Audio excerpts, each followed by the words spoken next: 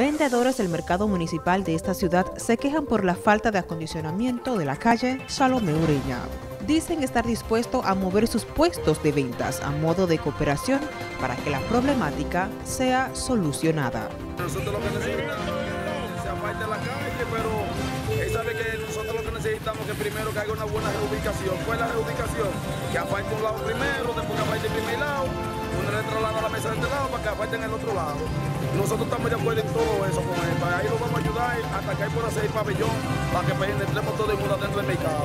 En eso nosotros podemos ayudarlo a él, porque en verdad la calle necesita un asfalto, pero... Él quiere apartar, pero nosotros no lo ponemos que aparte, pero nos quitamos y luego nos regresamos donde estamos, porque así que nosotros buscamos el pan de cada día de cada uno de los hijos de nosotros. Para NTN, Joanny Cordero.